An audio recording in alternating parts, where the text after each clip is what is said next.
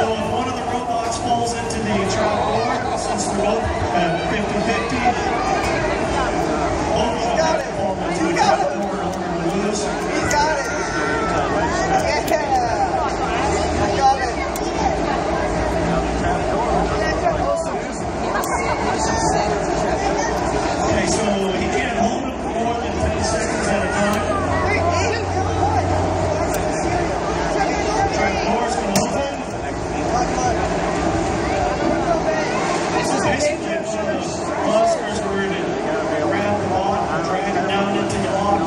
10 seconds.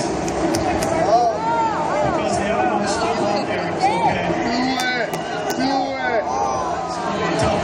It's gonna be tough.